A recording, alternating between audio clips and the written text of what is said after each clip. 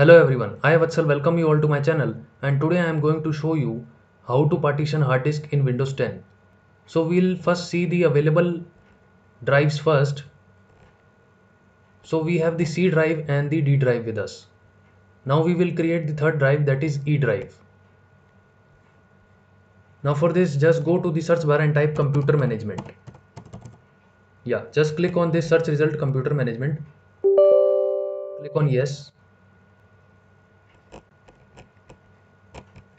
now under storage just click on this disk management. And you can see that we have the partition for C drive and the D drive already made.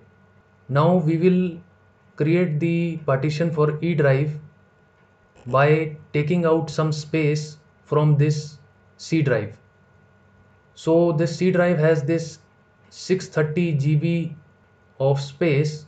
So we'll take out some 300 GB from this C drive.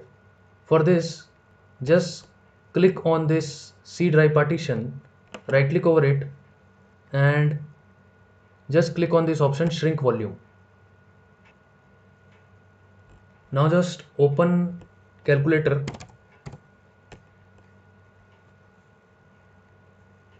and just convert 300 GB into MB by just multiplying 300 with 1024.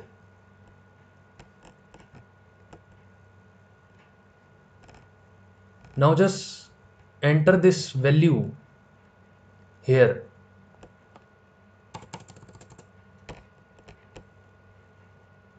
Enter the amount of space to shrink in MB. So this is the amount of space that we are going to give to the E drive 307200 now just click on this shrink button. And you can see that it has created the new partition. Now just click on this new partition right click over it. And just click on this option new simple volume. Click on next click on next.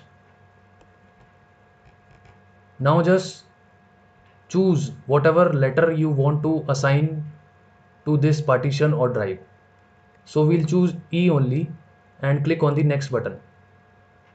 Click on next click on finish button. So you can see that we have successfully created the partition for the E drive now we'll close this and we'll see whether it is created or not.